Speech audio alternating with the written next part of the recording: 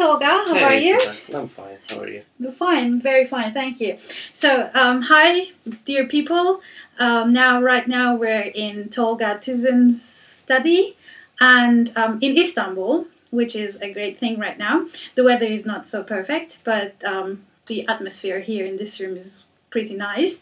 So, I'm here because Tolga and I are right now working on a project. He's composing a piano piece for one of my projects. Um, it's called Istanbul 2010. And um, today is actually January 2nd, so since two days, Istanbul is the cultural capital of Europe. Probably many of you know. And for this occasion, um, six composers from Turkey and I, we came together and they are all composing now piano pieces for me, uh, which will be presented uh, with a series of concerts all over the world. So, and today is the first composer, Tolga, with me, um, and we want to talk about a little bit his music and his life in Istanbul and um, how that has an impact on his compositional um, creative processes, etc., etc. So let's start then with this. Sure. Dear Tolga, uh, could you tell us about your life in Istanbul a little bit? You have lived in all over the place Paris, New York, uh, and now since a while you live in Istanbul, and um, you're a professor here too, uh, besides composing. Um, how is how is life in Istanbul as for, for a creative person like you?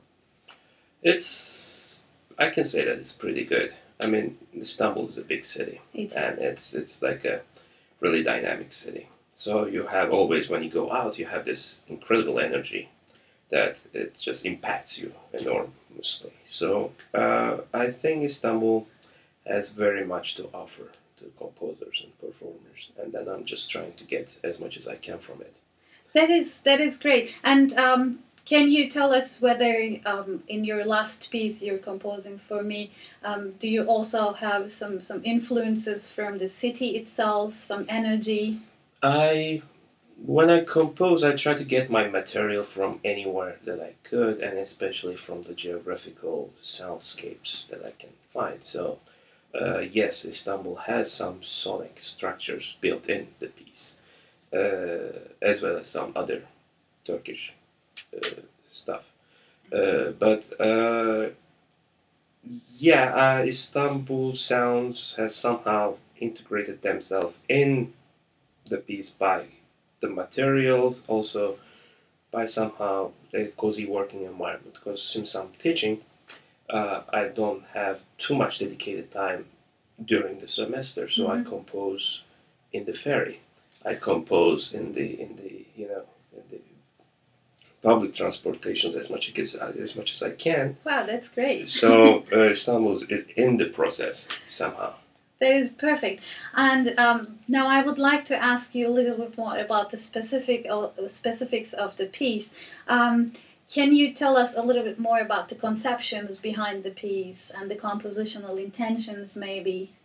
The compositional intention is pretty much is the same with uh, as with all other compositions of mine.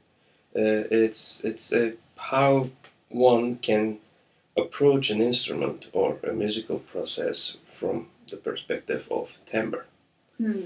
So uh, I'm trying to build as much as I can some timbral timbral structures and a way to move from one to the other and if I can to build more and more timbral polyphonies so that there will there will be more than one way to look at to the piece and hear more uh, than what's there.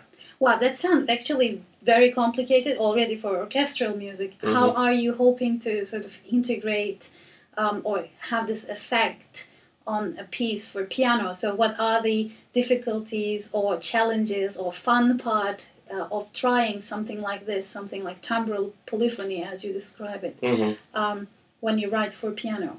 Um, first of all, you have to stop considering like piano as a composer. You have to stop considering a percussive instrument Hmm. because uh, if you just play the keys, well, you have a certain sound, and that will be it.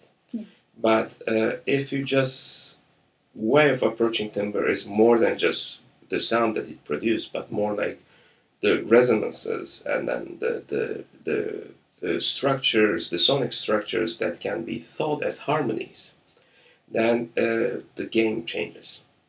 And uh, for me, the timbre and the harmony and the rhythm are really interrelated. And from from that perspective, I'm really uh, deeply influenced by spectral school.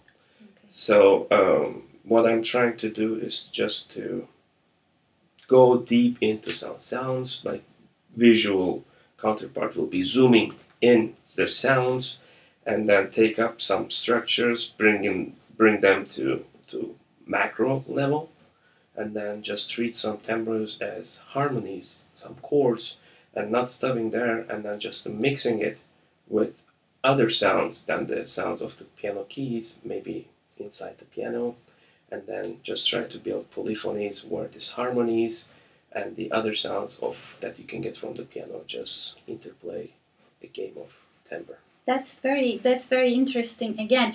So when people are listening to your music, and particularly to this piece you, you composed for piano, um, what would you like them to pay attention to? What would, in your opinion, um, sort of prepare them for a real um, enjoyable experience of this piece?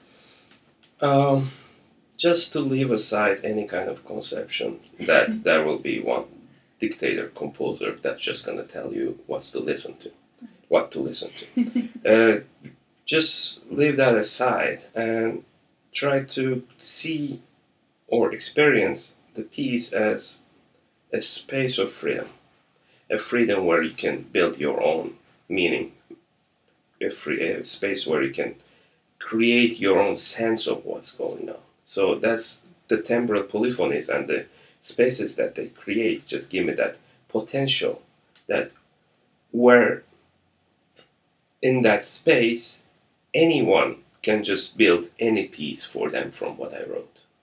So it's a multi perspective uh, piece, but the perspective is not the manual that I give to the audience, but more like their perspective of the piece. So I hope that everyone in the audience will have a different sensation and will have a different perspective and will have a different meaning from the piece, including you, every time you play it. That's great. Thank you very much. It's yeah. always very interesting to to have music that sort of offers um, multifaceted um, listening experience. So each concert is different. Um, that's also very interesting for the interpret mm-hmm. uh, because if a piece more or less sounds always the same way, then it's um, not as interesting as when you always have something new to discover in the piece. And um, I think that's going to be a great experience for me and for so you, everybody. Um, thank you very much, Tolga, and um, this was a great um, conversation.